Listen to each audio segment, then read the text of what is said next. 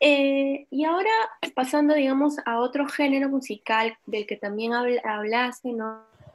Y dentro de esta lista, eh, hablemos un poco del rock, ¿no? Que a diferencia de la cumbia, eh, este no ha tenido la popularidad que, que, se ha logrado, pues, ¿no? La cumbia amazónica, aunque se ha hablado de una movida, ¿no? Que se inició a finales de los 90 con la aparición de bandas de rock que hasta ahora persisten, me parece, en el medio y posteriormente se consolidó con la proliferación de academias de música, ¿no? En, en locales, ¿no? Para poder entender mejor cómo funciona, ¿no? O cómo es que se ha ido dando esta movida musical, esta movida rockera, ¿nos podrías comentar brevemente, ¿no? ¿Cómo se inició el fenómeno del rock en la región San Martín? Bueno, sí, como, como, como, como tú mismo decías, ¿no? Este, eh, tuvo un apogeo a finales de los 90, eh, bueno, inicio de los 2000 en realidad, pero claro, viene desde mucho antes, ¿no? Con, porque yo podía acceder a, material fonográfico, ¿no? De, de, grupos que grababan materiales en los años 80, por ejemplo, ¿no? De Tarapoto, de hecho, ¿no? Entonces, este, pero es un tema un poco aislado, ¿no? Que todavía falta falta este, ahondar, ¿no? Sin embargo, eh, yo diría que básicamente todo el fenómeno del rock en la, en la, región, yo pues ha, ha, proliferado también porque yo denominaría que existe un circuito musical que forman diversos bares, ¿no? De la, de la, en, distintas, en distintos puntos de la región y que esos bares a la vez eh, imitan un mecanismo como foráneo, ¿no? Es decir, de contratar, una, de contratar una banda que toque para sus clientes, para la clientela, y a la vez tenga un repertorio que sea que guste ¿no? a, esa mayoría que asiste al, al, bar, ¿no? que entretenga a la gente.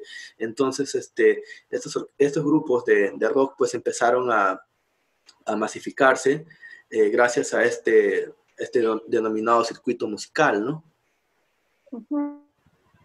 Entiendo. ¿Me podrías explicar un poco cómo es esta, cómo funciona este circuito musical? Es decir, por decir, ¿no? Este, dónde están ubicados, em, quiénes son los que asisten a estos, a estos lugares, cómo es que se digamos, la dinámica entre el bar y las bandas de rock.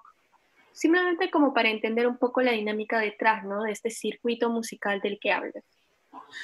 Sí, a ver, em, ya, em, bueno, principalmente los empresarios o dueños de los bares eh, contratan a las bandas, ¿no? Para tocar covers, que básicamente estos covers se, em, eh, son, pues, este, canciones o rock de los 80s, de los 90s, en español y en inglés también, ¿no? Que han sido, que imagino que todos hemos escuchado en la radio alguna vez, entonces lo que tratan ellos es de, de tocar esas canciones, ¿no?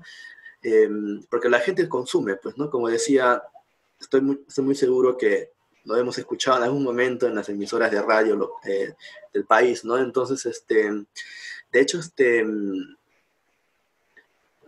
ha proliferado bastante en, en, en, la, o sea, el género ha proliferado bastante en la radio, en las televisiones, ¿no? Eh, pero sin embargo, a la vez también hay una, una cara, una cara eh, oscura, ¿no? Las condiciones, por ejemplo, también son precarias, ¿no? Cuando se trata de contratar una banda, los pagos son irrisorios y de hecho definitivamente no compensan pues la inversión que eh, los músicos hacen al, adquirir instrumentos musicales, a la reparación o a conseguir equipos ¿no? de sonido, e, etcétera, ¿no? Entonces yo diría que, por ejemplo, en la región, en nuestros circuitos, por ejemplo, eh, los pagos oscilan entre los 250 y 350 soles por grupo. Y estos grupos, a su vez, tienen que brindar el servicio del, espectáculo de más de una hora o hasta, hasta dos horas, ¿no? Entonces, em, yo pienso que las bandas también eh, últimamente han estado buscando nuevos escenarios, ¿no? Y se han estado también sosteniendo debido a, gracias a los eventos privados, ¿no? O sea, cumpleaños, matrimonios, em, inauguraciones de calles, ¿no? Entonces, este, porque esas, a las finales quienes pagan tienen un mejor pago, ¿no? Y esas bandas pueden al menos, este, solventar, ¿no? compensar la inversión que también hacen, ¿no? Mm, ya veo.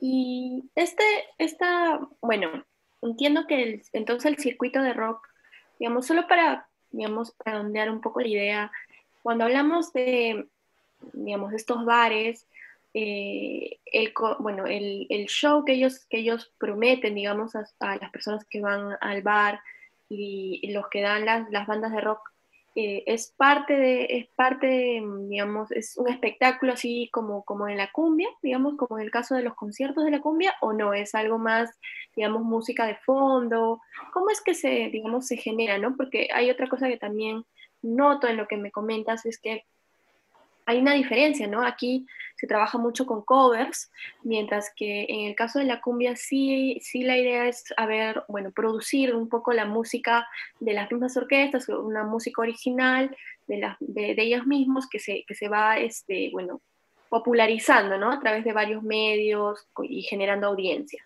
Entonces, en este caso en particular es así, también se maneja solo covers la, o también hay música de la, de la banda, por decir, ¿no?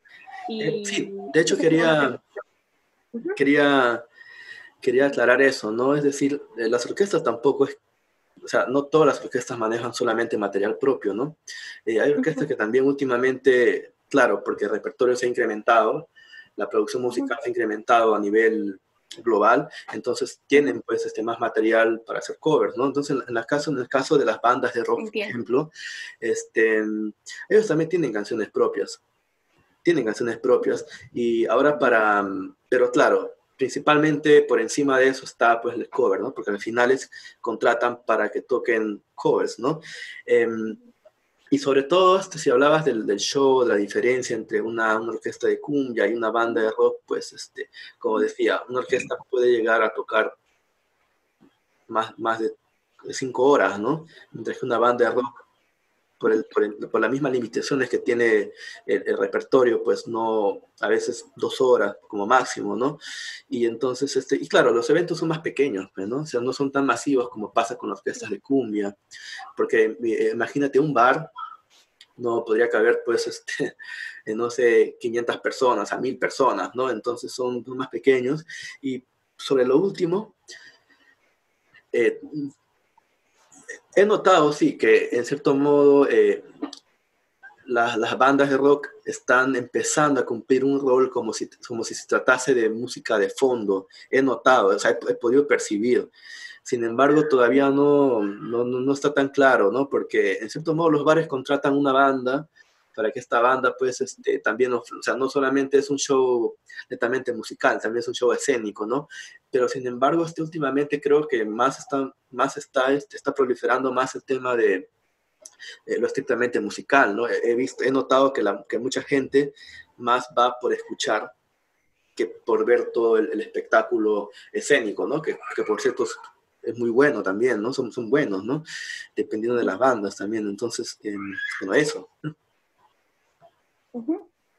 Gracias. Eh, ahora queda un poco más claro, digamos, esta dinámica, ¿no? Que se da en este circuito eh, musical. Eh, este circuito entiendo que está en toda la región, ¿verdad? No solo en la provincia de San Martín. Sí, está diversificada, ¿no?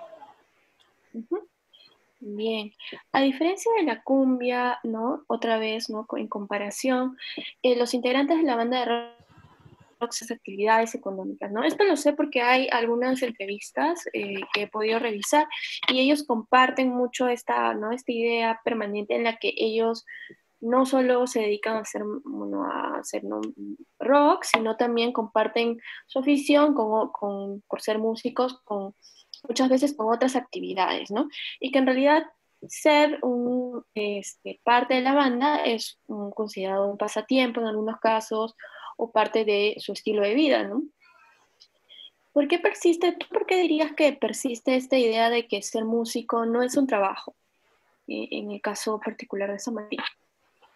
Eh, bueno, acá creo que, que tiene que, que ver bastante el tema del utilitarismo de las carreras universitarias, ¿no? Es decir, siempre ha habido eh, teorías totalmente, o sea, cargadas totalmente de estereotipos vagos y egoístas, ¿no? Al, al, este, al marginar en cierto modo, las artes, ¿no? Sin embargo, este, yo pienso que ahora en tiempos de crisis se necesita bastante las artes, ¿no? muy vital, de hecho, ¿no? Em, entonces, este, pero para responder un poco, para no, para no irme por, por otro sitio, eh, yo diría que también es porque es precario, ¿no? O sea, eh, hay responsabilidad primaria del empresario también, o sea, del empresariado, ¿no? Eh, que no mejora las condiciones para que estos grupos puedan este, también tener la idea de, un empleo, un trabajo seguro, pues, ¿no? Entonces, por eso que ellos, pues, se adelantan con el tema de, de estudiar otra carrera fin o una carrera, este, que no tenga mucho que ver con, con, el sector artístico, no escénico. Entonces, este, básicamente eso, ¿no? Es como, es como responsabilidad compartida, ¿no? Entiendo, entonces es un problema bastante complejo, em, coméntame un poco sobre la presencia, como decíamos, ¿no? La presencia de academias de música y cuál sería tú, cuál crees que sería este rol que, que, tiene, ¿no? Al momento de, no sé si fortalece, mejora, o, o da oportunidad a, en la escena musical rockera. Entiendo que, bueno, las academias están especialmente en Tarapoto, pero, pero en general, ¿no? Dentro de toda la región. Bueno, este, de hecho que sí aportan, ¿no? Aportan un poco al conocimiento, aportan eh, a la enseñanza, pero sin embargo he notado que dentro de las opciones que hay, eh, no tiene mucha diversificación de conocimiento. ¿En qué sentido? Es escaso, de hecho. O sea, ah. eh, no, no se acerca a la realidad, pues, ¿no? O sea, la profesionalización es una problemática muy grande, ¿no? O sea, es decir, este, las academias pues forman a los, bueno, a los, a los, a los, a los jóvenes que van a, a estudiar este, determinadas este, géneros de música eh, los forman no para el aspecto laboral, no para el mercado laboral, sino los forman con conocimientos muy teóricos, o que quizás, y aparte de ser muy teóricos, son conocimientos que de repente no, no van a, eh, no, no, contribuyen del todo a, la, a, la, parte cultural o musical que existe en la región, ¿no? entendiendo que, como decía al principio, eh, no existe una diversificación, o sea, no existe un trabajo de reconocimiento eh, más amplia de la música, ¿no? Están como muy, muy, muy encasillados en, en, géneros determinados, creyendo que prácticamente esa es la salvación al, sector eh, artístico, cultural en la región, pero es que en realidad no es así, ¿no? Existe mucho más que no, que no están tomando en cuenta, ¿no? Y ahora, en cierto modo, sí, ellos exportan muchos alumnos ah, de manera constante, ¿no? pero estos alumnos a la vez forman sus bandas de, rock o, de lo que sea, pero, se encuentran con la realidad justamente que el mercado es precario y a la vez este, el, mercado, o sea, el mismo mercado laboral no incentiva pues a la creatividad, ¿no? Eh, se estancan eh, tocando cover siempre y entonces esto también es un problema, de hecho que no quiero ahondar demasiado, pero también lo podremos ver en otro, en otro momento, ¿no? Es, un problema también que, que, habría que explicarlo, ¿no? Entonces, digamos que las academias están ahí, pero no necesariamente resuelven el,